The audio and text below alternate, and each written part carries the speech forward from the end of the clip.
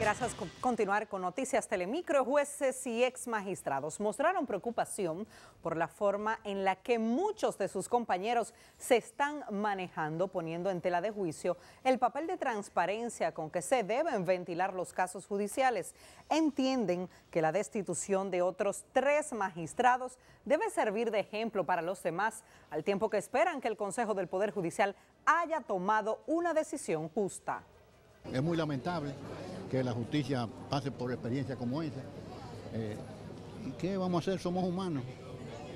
Esperar que las cosas sigan mejorando. Entonces, el Ministerio Público es el funcionario con la capacidad y la competencia necesaria para determinar si estos señores, ex jueces hoy, cometieron los hechos que se dice que cometieron. La decisión es justa, bueno, pues ni modo, lo que hay que esperar que esta decisión sirva de ejemplo para, para los demás jueces. Los jueces pues tenemos que dar un servicio apegado a, lo que es la constitución de la República, a la ética, al código de ética iberoamericano y mantener una conducta eh, de integridad constantemente. Los magistrados hablaron tras asistir a la exposición del cuerpo de Sócrates Martínez en la Procuraduría General de la República.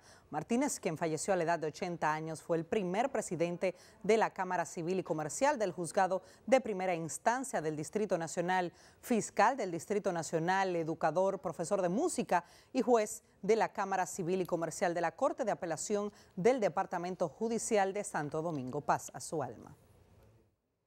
En tanto, el Colegio Dominicano de Abogados descartó este lunes que exista una cacería de brujas con la destitución de tres jueces anunciada por el Consejo del Poder Judicial por alegadas irregularidades, mientras que juristas plantean que no hay pruebas veraces para un juicio penal. Lencia Alcántara con las reacciones. Veamos.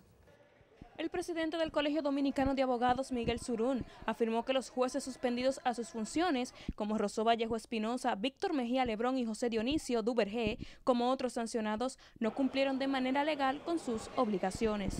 Todo sistema tiene que existir sanciones para aquellas personas que cometen falta en el ejercicio de sus funciones y evidentemente eso tiene que ser precedido de un proceso, un proceso eh, donde se respeten las garantías constitucionales y es lo que ha pasado mientras que distintos abogados rechazan esta medida y explican que es el sistema judicial dominicano que necesita ser cambiado. Entonces, ¿son esos tres jueces los ejemplos que hay que dar para desentar la justicia dominicana? Yo creo que no. Es el sistema que no sirve, que está corrompido. Referente a esta situación, abogados también alegan que no existen pruebas veraces para someter a un juicio penal a estos jueces. Hubiéramos querido tener en cuenta cuáles fueron los parámetros que se tomaron para ello, porque si habían cometido alguna falta disciplinaria, lo correcto es que, que se le investigara, que se le hiciera un juicio. Si se comprobaron las faltas, se hizo lo correcto se hizo lo correcto porque las sanciones fueron aplicadas de acuerdo a lo que establece la ley. Por esta situación hay juristas que también afirman que la destitución de estos jueces conlleva acciones ligadas a altos funcionarios del gobierno. Lencia Alcántara Noticias, Telemicro. Por otro lado, jueces, abogados y familiares de choferes muertos por una supuesta banda de sicarios encabezada por Arsenio Quevedo, que se encargaba de asesinar a conductores, acudieron este lunes al Palacio de Justicia del Distrito Nacional para exigir la condena máxima contra los imputados en el caso. En ese orden, varios familiares de los transportistas dicen que llevarán el caso hasta las últimas consecuencias se han recogido más que prueba suficiente para sostener fuera de cualquier duda lo que es la vinculación, la autoría intelectual y el patrocinio económico de Arsenio Quevedo con esa estructura criminal con ribete de sicariato político. Pero tengo testigo aquí, ¿quién era ese muchachito? Y mire, yo, yo pesaba 145 libras y yo estoy pesando 120 libras porque yo no tengo pan ni felicidad. Nosotros es el temor de nosotros de que él siga manipulando la justicia dominicana. Nosotros queremos que se haga justicia, no queremos que se siga haciendo, el cual ya tenía 18 días en Najayo, donde no era ahí la cárcel donde él estaba puesto a tener la medida y ya tenía 18 días y aquí fue que nos dimos cuenta porque él hace, lo que le da la gana con la justicia, manipula como quiera. Tanto los familiares de las víctimas como los abogados encargados del caso exigen una condena de 30 años contra Arsenio Quevedo, Erickson de los Santos, Cristino Batista y Amaury Cabrera Ramírez. La Fiscalía de la provincia de la Altagracia apresó a una mujer que supuestamente amenazó con matar a una abogada que llevó un caso en su contra. Ampliamos esa historia con nuestro corresponsal allí, Robert Antonio. Se encuentra detenida en la Fiscalía de la ciudad Higüey la señora Nancy Pache Santana, acusada de intentar agredir a la abogada Isis Guerrero luego que perdiera la guarda de su hijo durante un proceso judicial. Guerrero explicó que la acusada se presentó a su oficina con un machete, pero que no la agredió debido a la intervención de varios compañeros. Va a la oficina a matarme con un machete. Los abogados, los colegas intervinieron, la agarraron y no la dejaron subir porque la oficina es una segunda.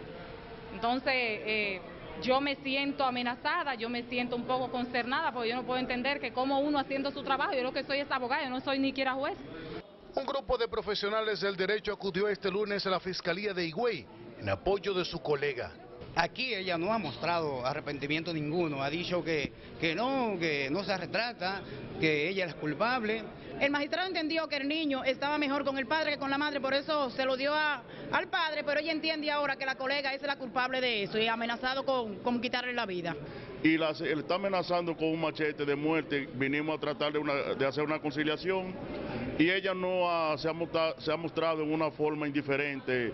Isi Guerrero manifestó que el enojo de la mujer en su contra se produjo luego que un tribunal le quitara la guarda de su hijo y se la entregara al padre, proceso en que actuó como abogada de la parte que ganó el caso. Para este próximo miércoles será conocida la medida de coerción a la mujer que amenaza de muerte a la abogada. Desde Higüey, provincia de la Altagracia, Robert Antonio, Noticias, Telemicro brazo del ejército fue muerto en Mao. Todos los detalles al regresar de nuestra pausa.